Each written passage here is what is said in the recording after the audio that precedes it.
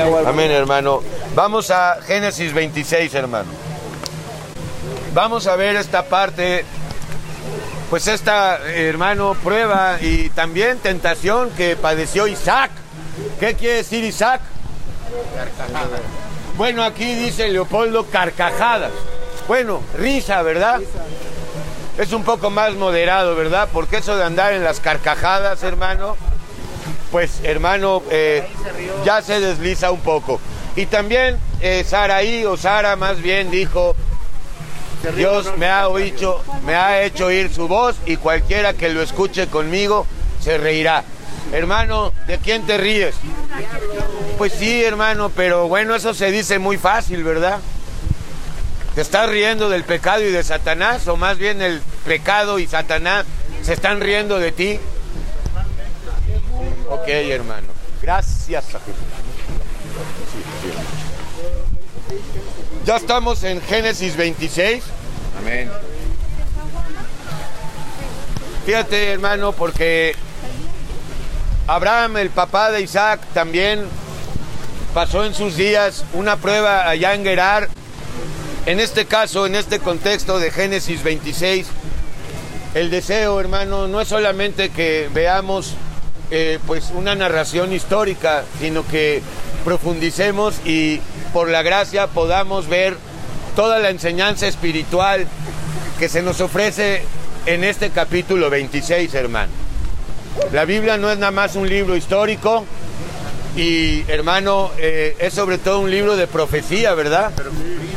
Ok, sí, muchas eh, profecías cumpliéndose hoy en día, muchas otras están por cumplirse. Vamos a ver eh, a Isaac en Gerar, hermano. Sabemos que Abraham, Isaac y Jacob vivieron como extranjeros, ¿verdad? En este mundo, en esta tierra, como peregrinos, hermano. Como el pueblo de Israel lo fue en cierto tiempo, pero después se cansó de vivir, hermano, pues eh, por la gracia de recibir el maná, ellos se empezaron a anhelar otra vez los placeres y los deleites de Egipto. Y hermano, pues esto sucedió porque verdaderamente no salieron de Egipto, salieron físicamente, pero no salieron, hermano, eh, pues realmente arrepentidos, hermano, sino que se fastidiaron del buen Dios. Y hermano, espero que tú y yo no caigamos en esto, hermano, porque Dios ha hecho una obra sublime. Nos ha librado de culpas, lo que el psicólogo no pudo hacer, lo que las drogas tampoco hicieron. El mucho deporte tampoco nos libra. Ni papá ni mi mamá. Ni papá, ni mamá, ni la religión, ni el cristianismo, ni el sacerdote, hermano. Ni tus hijos, hermano. Ok. Ni las buenas obras, bueno, entre comillas, porque no hay buenas obras. Nuestras obras son malvadas, lo siento. Yo no lo digo, no es mi opinión, hermano. Es lo que dice la Biblia. La Biblia dice que somos por causa del pecado depravados. Es verdad que lo somos, ¿verdad?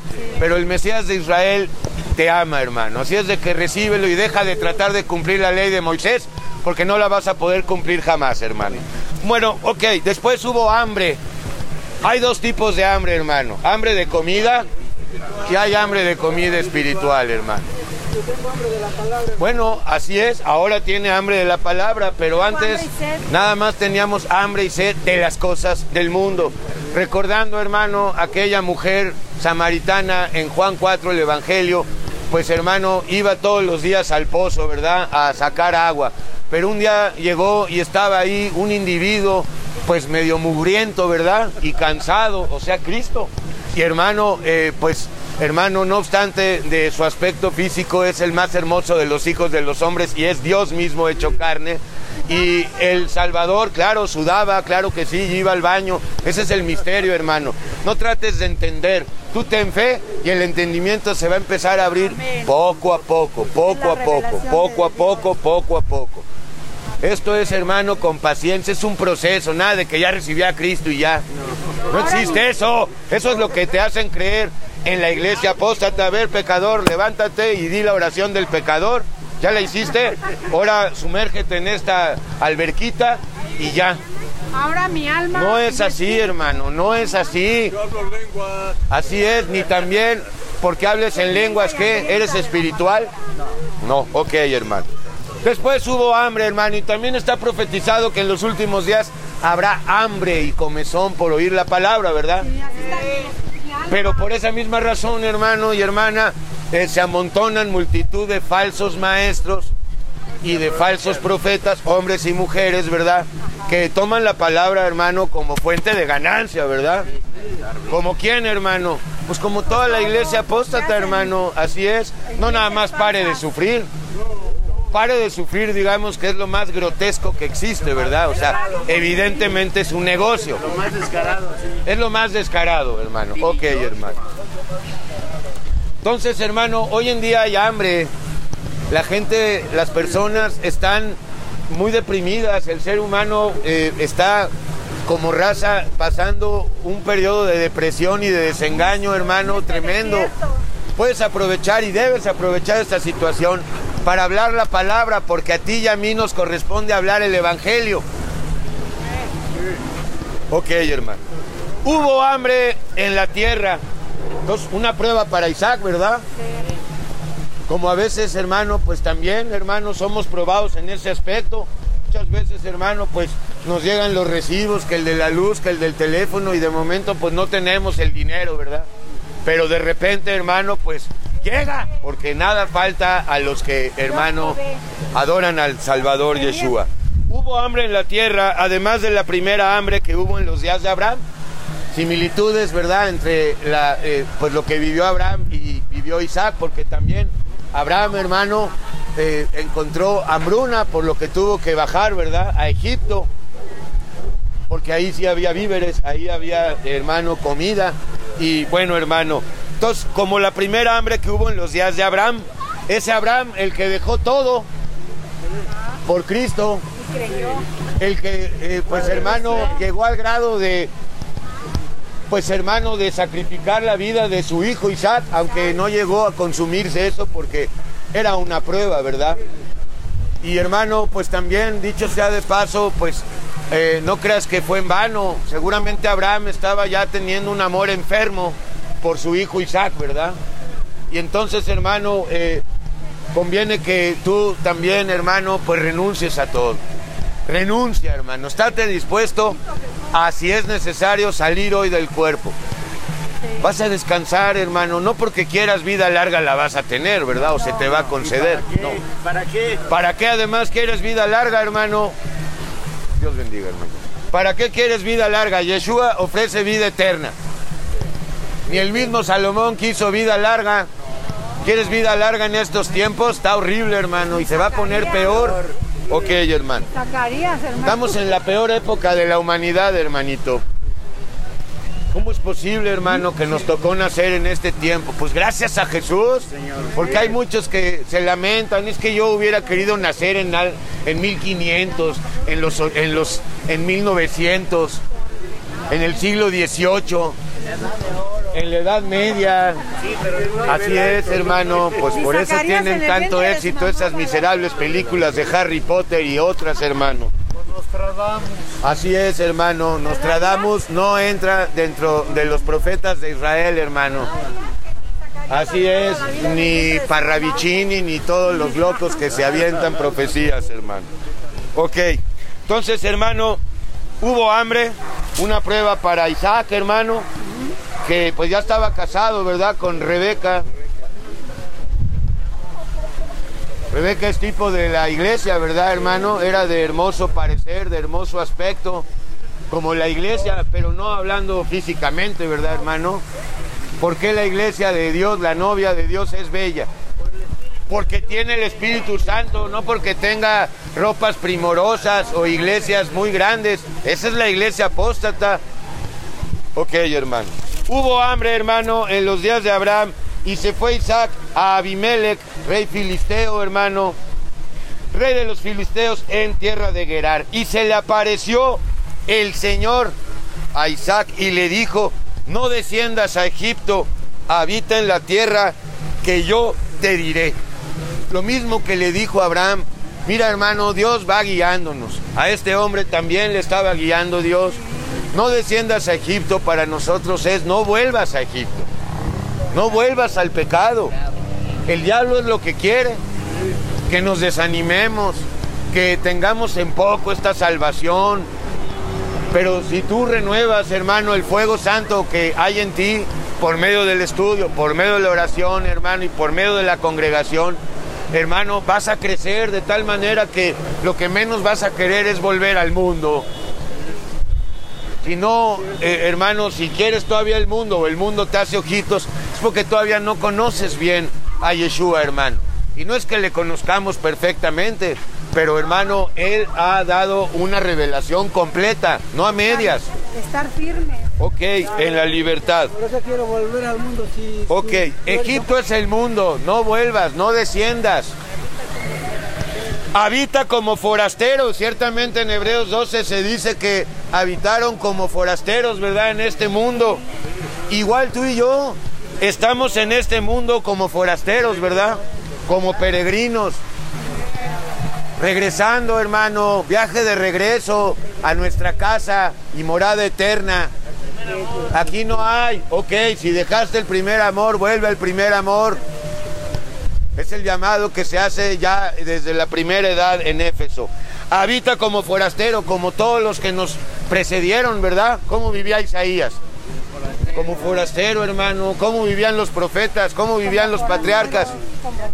Ok, hermano. Ok, ok, hermano. Habita como forastero en esta tierra, o sea, en este mundo. Y acá está la promesa. Y estaré contigo. ¿Qué más quieres? Va a estar contigo. Nada hace falta. Cristo está por ti. ¿Qué más quieres, hermano? Entonces, no trates de conquistar el mundo ni de ganarte el mundo, hermano. Ya lo hicimos, ya lo intentamos hacer. Ubícate como peregrino y extranjero en este mundo y Él estará contigo y te bendeciré. Él quiere bendecir espiritualmente. No sirve de nada que te bendiga con bienes económicos si no te bendice primero espiritualmente. ¿Para qué quieres el dinero si no tienes sanidad en tu alma? Sería peor, hermano y hermana. Suelta ese ídolo ya el dinero, que no te preocupe más el dinero. Tú busca a Dios y todo lo demás viene por añadidura, hermano. Entonces, esto es lo que se le dice a Isaac. Tú no desciendas a Egipto, tú mora como forastero en esta tierra y yo estaré contigo y te bendeciré. Amén. Y vamos de bendición en bendición, hermanito, ¿eh? Todos los días son y se renuevan sus bendiciones. No es una bendición, hermano, estar aquí. Vaya aquí delante de la presencia de Dios. Porque a ti y a tu descendencia daré todas estas tierras y confirmaré el juramento que hice a Abraham tu padre. Entonces confirma el juramento que le había hecho al padre Abraham. Se lo confirma a su hijo Isaac. Y más tarde se lo confirma a Jacob. Y más tarde se lo confirma, hermano, al rey David. Ok, hermano. Y luego, pues el pacto, eh, pues es realizado o consumado, pues eh, con la encarnación del divino Maestro. Multiplicaré tu descendencia como las estrellas del cielo. Te quiere multiplicar, ok, hermano espiritualmente, en cuanto es también la iglesia, ¿verdad? Que es cuantiosa como las este, estrellas del cielo, del firmamento, y te daré a tu descendencia todas estas tierras. En este caso sí es Israel, porque a él sí se le ofrece una tierra, Claro.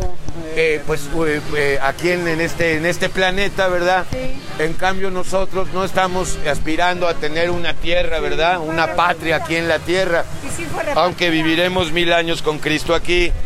Ok, y todas las naciones de la tierra serán benditas en tu simiente. Fue lo mismo que le había dicho en Génesis 12. Y hermano, es necesario aclarar cuando dice todas las naciones serán benditas en tu simiente. ¿A qué simiente se refiere? No, a Cristo, a Cristo. Porque hermano, Abraham y Isaac son ancestros de Yeshua, hermano. Como Zorobabel, hermano. Y puedes conocer las genealogías en Mateo 1 y en, Lucas 3. Entonces, por medio de esta simiente, ¿verdad? Que saldría en un momento dado el Mesías, todas las naciones de la tierra serán benditas. Más bien todos los escogidos y elegidos de todas las naciones, porque no son todas las naciones, sino el remanente escogido de cada pueblo o nación, ¿ok? Ok, hermano. Tú y yo de, de este pueblo, el mexicano, ok, somos parte del remanente. Ok, hermano. Por cuanto oyó Abraham mi voz, más que oír es obedecer, porque muchos escuchan pero no obedecen. Entonces hay una diferencia abismal entre escuchar y entre obedecer, hermano, porque no son los oidores los que serán justificados, sino las y los hacedores, hermano, los que ponen en práctica la palabra. Perdón, hermanita. Por cuanto oyó Abraham mi voz y guardó mi precepto, creyó a mi palabra, mis mandamientos, mis estatutos y mis leyes. Y la primer orden que le dio, aunque jamás Cristo ordena, sino exhorta, fue muy sencilla. Sal de la casa de tu padre y de tu madre, que es lo mismo a salir del mundo, salir del pecado, hermano. Ok, hermano. Entonces le pone el ejemplo, mira, Isaac, Abraham, tu padre, fue bendecido porque me oyó, no porque, hermano, él haya sido muy grande. Abraham no era grande, hermano, ni tú ni yo, pero él quiere engrandecernos, hermano, y engrandecerte. Ok, hermano. Habitó pues Isaac en Gerar, ¿cómo? Como forastero, ¿verdad? Ok, como tú y yo en este mundo, forasteros. No eches raíces. ¿Para qué? No te aferres, ¿para qué? Todo lo vamos a dejar. Tú suelta todo, hermano, porque, hermano, nada es nuestro y Dios te quiere dar abundancia espiritual y también quiere, pues, eh, darte un cuarto donde vivir y, pues, tu comida todos los días para que ya no vayas a patriotismo, para que ya no vayas al comedor de cinco pesos, hermano, a donde seguramente te va a caer mal el alimento, ¿verdad? o recogiendo latas de la, de la basura, o trabajando 10 horas en Aurrera. ¿Eso es lo que quieres? O 12 horas en la bodega de Chedraui. Ok, pero me dan prestaciones, me dan vacaciones, reparto de utilidades, seguro social, me quedo con Chedraui. Necio, Yeshua te quiere dar vida eterna. Amén. Amén. Ok. No hay prisa, ¿verdad? Nos vamos a las 4. Ok, hermano. Gracias a Jesús. A las 5 y nos vamos a ir a Woolworth. Sí, claro. Primero Dios. Ok, hermano. Entonces, hermano, habitó pues Isaac en Gerar obedeciendo el mandamiento de Dios. A lo mejor él quería bajar a Egipto, ¿no? Pues, ¿Qué crees que no tenía hombre viejo? Bueno, entonces fue una prueba, pero el Señor le dijo, no lo hagas, y lo ayudó para no ceder a la tentación. Porque en Egipto, ¿qué crees, hermano? Pues había fiesta, había show. Era como Las Vegas hoy. Había carne asada. Como había grandes restaurantes, hermano. Ok, hermano. Grandes escuelas. Ok, hermano. Y los hombres de aquel lugar le preguntaron acerca de su mujer, la mujer de Isaac. Rebeca. Rebeca, físicamente hermosa, pero es solamente sombra y figura, ¿verdad, hermano? Sí, porque es- De la iglesia y la verdadera hermosura. Porque tú crees que, hermano, Dios prefiere a, a una guapa que a una fea. Además, lo que tú y yo llamamos guapo o feo son criterios humanos de miseria, ¿verdad? Nuestro gusto ya está educado culturalmente, ¿verdad? No, pues las guapas son las delgadas, cuate. ¿Por qué? Las guapas son las güeras y que tienen rayitos. No es cierto, hermano. Ok, hermano. Entonces, hermano, aquí también vemos el aspecto pues de la lujuria y la fornicación que había en Gerar, ¿verdad? Luego, luego se fueron con la mujer de Isaac, hermano. Y hermano, le preguntaron acerca de su mujer y él respondió, mintiendo, es mi hermana, porque tuvo miedo de decir, es mi mujer. Entonces, hermano, yo pregunto, ¿miedo? Aquí dice que sí, o sea, cobardía. Pero hay otro ángulo, pudo haber sido prudencia también. Podemos ver los dos ángulos, ¿no? Ok, aquí Abel dice que fue prudencia, pero también puede ser que fue cobardía y miedo, ¿verdad? Entonces, hermano, pues esos son los dos ángulos, hermano. Entonces, hermano, tuvo miedo de decir, es mi mujer, pensando que tal vez los hombres del lugar lo matarían por causa de Rebeca, pues ella era de hermoso aspecto. Aquí ve a la iglesia, ¿ok? Y deja de ver la belleza física que había en Rebeca, que además, pues hermano, ni, ni hay fotos de ella, ni nos importa, ¿verdad? Aunque hubiera fotos. Así es, hermano. Entonces vemos que Isaac está siendo curtido, ¿verdad? En la palabra por medio de pruebas. Porque si hubiera estado firme en la fe, pues es mi esposa y venimos en el nombre de Yeshua, ¿verdad? Pero bueno, algo similar le sucedió a su papá Abraham, justamente en Gerar, justamente con Abimelech, hermano, también mintió acerca de su mujer Saraí, pero fue una media mentira, porque dijo es mi hermana, y a la verdad eran medios hermanos. Ok, hermano. Entonces sucedió que después que él estuvo allí muchos días, en esta tierra de Gerar, ¿qué hacía, hermano? Nada más trabajar como loco. Hablaba la palabra de Dios a los habitantes de Gerar. Abimelech, rey de los filisteos, hermano, mirando por una ventana, andaba ahí de boyerista, hermano, de, eh, pues de, de lujurioso, hermano, a ver ahí para ver qué se ve. Y pues no tenía mucho que hacer el tal Abimelech, sino espiar a Isaac y a su mujer. Eh, vio a Isaac que acariciaba a Rebeca, su mujer. Hermano, ¿qué tal te saben las caricias de tu Salvador Yeshua? Ay, Son caricias espirituales, hermano. Es su bondad, es su fe, es su mansedumbre, es el ánimo que nos viene a infundir cuando estamos ya a punto de masacrar al vecino por la fiestita que se aventó o hermano, cualquier cosa, ¿no? Entonces, hermano, este filisteo, el rey, andaba ahí haciendo espionaje, hermano, eh, con Rebeca y Isaac, y llamó a Abimelech a Isaac y le dijo, he aquí, ella es de cierto tu mujer. ¿Cómo pues dijiste, es mi hermana? E Isaac le respondió, porque dije, quizá moriré por causa de ella. Bueno, hermano, no hay que morir por causa de ninguna mujer o de algún hombre, ni siquiera por causa de tu hijo. Hay que morir y esto cada día por causa de Yeshua. Ahora, hermano, pues aquí también se puede ver más claramente que pues todavía estimaba su vida demasiado, pero también puede estar el aspecto de la prudencia. Pero mira, hermano, ¿por qué me inclino más por cobardía? Porque la prudencia de Cristo no incluye mentiras. O sea, si hay una mentira para que tú puedas comportarte prudentemente, ya no es de Dios, ya no es la prudencia de Dios. La prudencia de Dios tiene que estar libre de toda mentira y él mintió porque no era su hermana, era su mujer. Por más prudencia que le queramos achacar, ¿ok? Sabemos que Isaac era hombre viejo también o tenía hombre viejo, ¿verdad? Porque si no, pues vamos a seguir viendo a los de atrás como mayores no, hermano, aquí el único mayor es Yeshua. Ok, y Abimelech dijo, ¿por qué nos has hecho esto? Por poco hubiera dormido alguno del pueblo con tu mujer. Bueno, no dormir, ¿verdad? Fornicar, hermano. Y hubieras traído sobre nosotros el pecado, más bien la maldición, porque el pecado ya estaba en ellos. Entonces más bien es la maldición. Entonces Abimelech mandó a todo el pueblo diciendo, el que tocare a este hombre o a su mujer, de cierto morirá. Bueno, hermano, en el caso de eh, Abraham, acuérdate que Abimelech fue revelado en sueños, ¿verdad? De que esta mujer no era su hermana, simplemente era su esposa.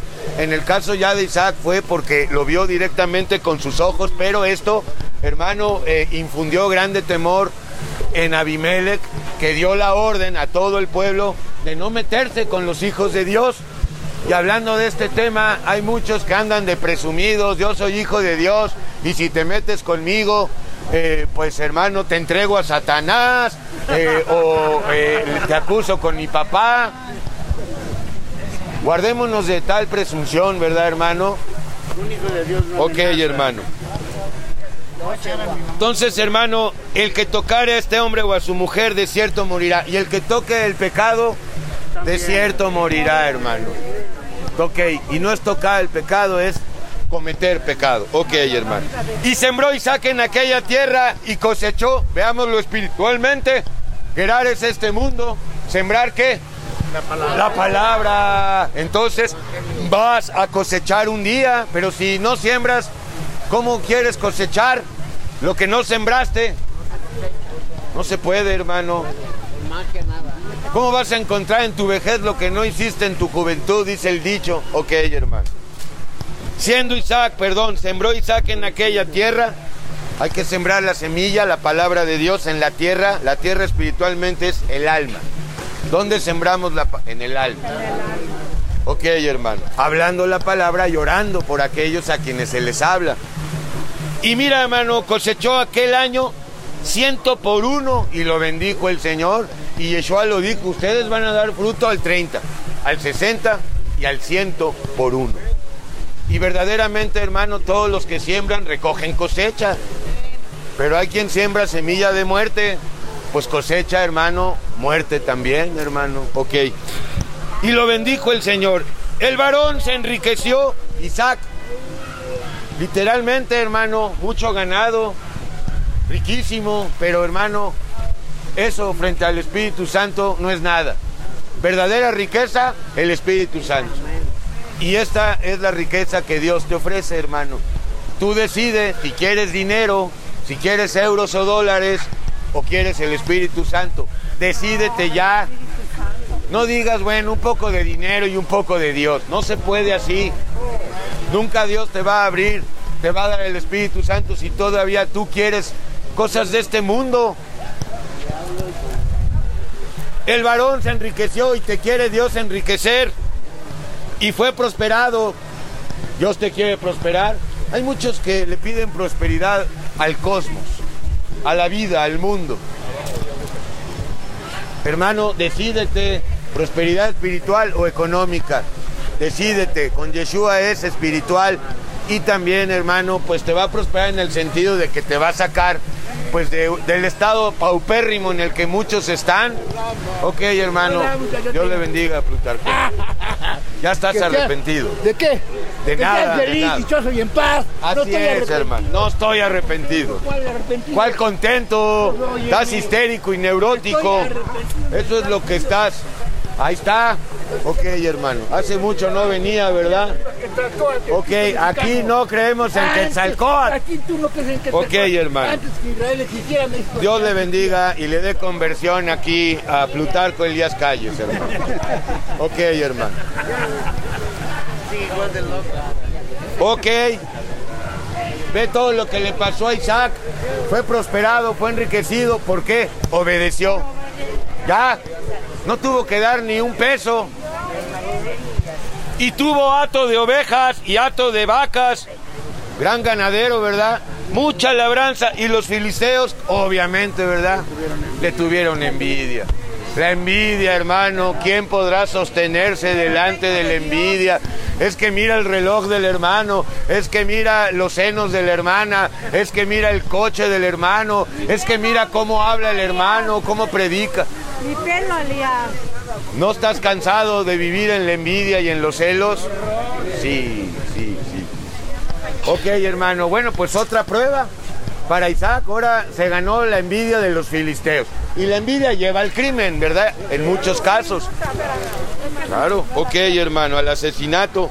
Y hermano, fíjate, me faltó del 13 algo muy importante.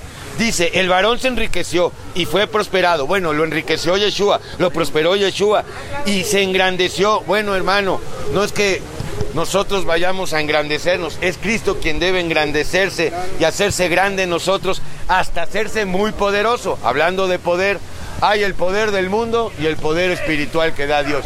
¿Cuál quieres? Entonces, hermano, sube a la cruz con Cristo y, hermano, pues ora por Plutarco, hermano.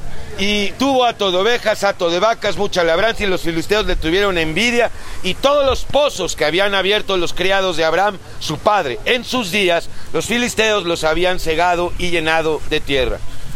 Ya hemos hablado que espiritualmente hablando estos pozos son los hijos y las hijas de Dios. ¿Qué sale de un pozo? Agua, bueno hermano, ok, agua viva, pero también hay pozos de agua pútrida, hermano. Y muchos, los de Satanás. Entonces, hermano y hermana, se trata de abrir esos pozos.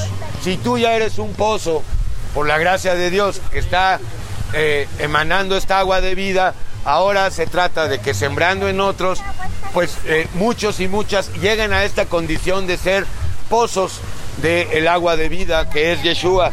Ok, hermano. Entonces dijo Abimelech a Isaac, apártate de nosotros, hermano. ¿De quién hay que apartarnos? Del pecado, de la lujuria. Así es, hermano.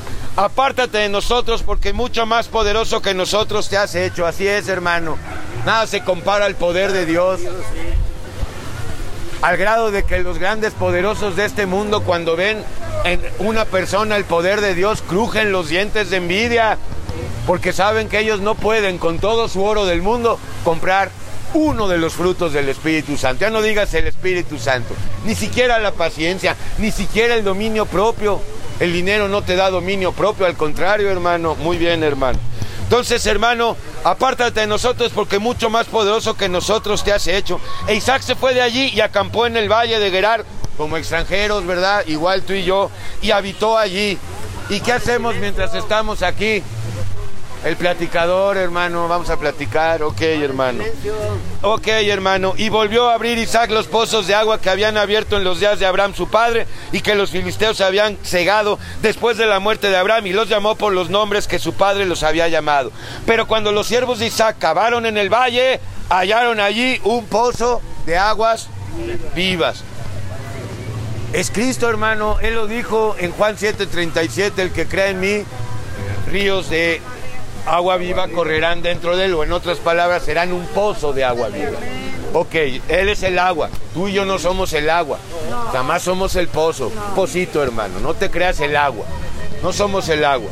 Ok, hermano, así es, nosotros no somos la luz, si acaso podemos llegar a ser un foco, y eso es lo que quiere Cristo, que seamos luminarias en el mundo, pero nosotros no somos la luz, nosotros somos la lámpara pero no el aceite, hermano. El aceite es el Espíritu Santo. Ok, hermano. Entonces, eh, pues, hermano, hallaron ahí un pozo de aguas vivas. Ya hallaste este pozo. Más bien, ya te halló este pozo a ti. Porque Él es el que vino a rescatar lo que se había perdido. Él vino, a, hermano, a sanar a los enfermos. Yo tengo necesidad Ok, hermano, perfecto. Y ya que tienes estas aguas vivas, a repartirla, a darle agua al sediento, hermano. Sin cobrar, porque eso se llama nicolaísmo, ¿verdad?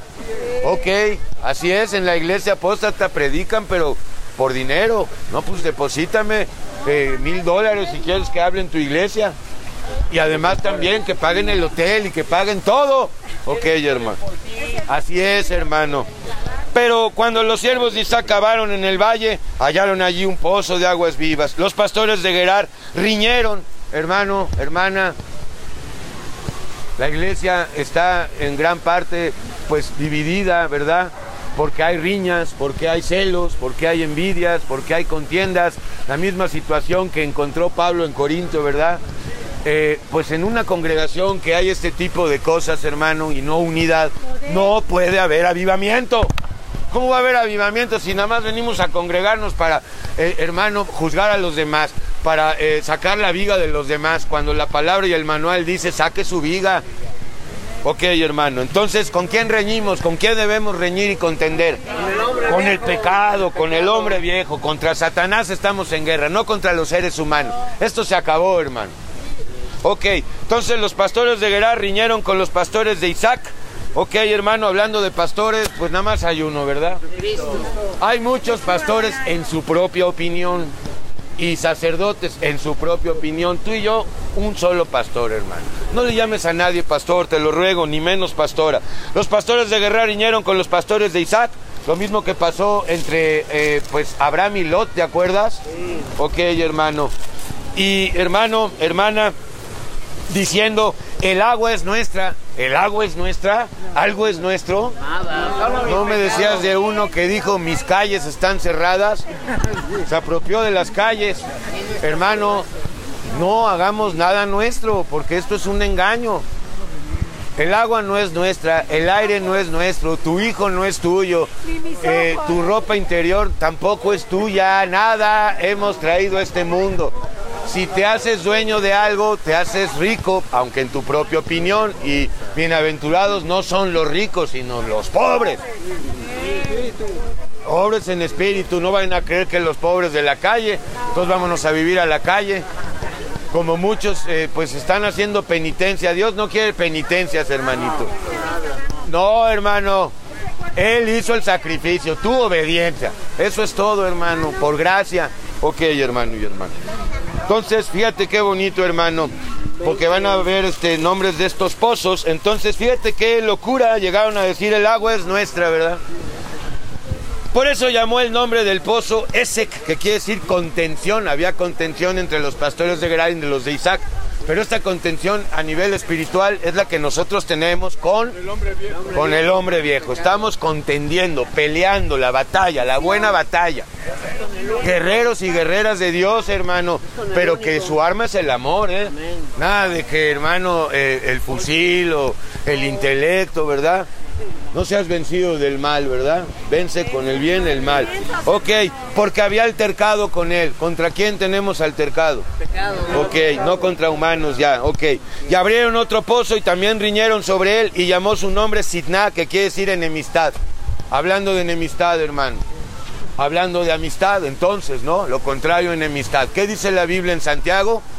Que cualquiera que se haga amigo del mundo enemista con Dios, hermano. Y hermano, eh, pues también, otra vez, enemistad no con los humanos. Tenemos enemistad con Satanás. No podemos ser amigos de él ni del pecado, hermano. Se acabó. Ya fuimos muy buenos amiguitos de Satanás y hacíamos lo que él decía, ¿verdad? ¿Y a dónde acabamos? En el reclusorio, en el hospital, hermano, en la delegación, en el Tonayan, en hermano, en Fray Bernardino, hermano, en la locura, ¿verdad? Ok, en el diván, acabé en el diván ahí tumbado. Ok, hermano. Ok, hermano. Entonces estamos en Sidná, ¿verdad? En enemistad, pero contra el pecado, no contra los seres humanos. Y se apartó de allí, ¿de qué hay que apartarnos? Del pecado. Del pecado, hermano. Y abrió otro pozo. ¿Cómo abrimos pozos? Hablando la palabra. Y no riñeron sobre él, llamó su nombre Rehobot, que quiere decir lugares amplios o espaciosos. El Espíritu Santo es Rehobot, ¿verdad, hermano? Es un lugar espacioso en el que podemos nosotros, hermano, regocijarnos seguros y firmes, porque nada impuro puede contra él. Y gozarnos. Ok. También en la esperanza. ¿Ya se te olvidó esta esperanza de vida eterna? ¿Cómo, hermano? Estamos en un cuerpo miserable. Ok, hermano. Ok, fíjate, abrió otro pozo, ya no riñeron sobre él, llamó su nombre Rehobot y dijo, porque ahora el Señor nos ha prosperado. ¿Cuándo te va a prosperar Dios? Cuando lo obedezcas, cuando lo empieces a enaltecer, cuando empieces a confesar su nombre, cuando empieces a padecer por él, te va a prosperar, no antes, no antes, ok hermano. Y fructificaremos en la tierra. Nosotros queremos fructificar en la tierra o espiritualmente. Ok, ok. Y de allí subió a Beersheba, donde también pasó Jacob, el hijo de Isaac, y se le apareció el Señor, ¿ves? Obedeces y el Señor te sale al encuentro con gran revelación, ¿verdad? Sí, y ok, hermano. Se le apareció aquella noche y le dijo, yo soy el Dios de Abraham, tu padre. No temas, no tengas miedo, yo estoy contigo. Porque yo estoy contigo y te bendeciré más de lo que este hombre podía creer y más de lo que tú y yo podemos creer. Y multiplicaré tu descendencia por amor de Abraham, mi siervo. Le dio dos descendencias, ¿verdad? Una espiritual, una terrenal.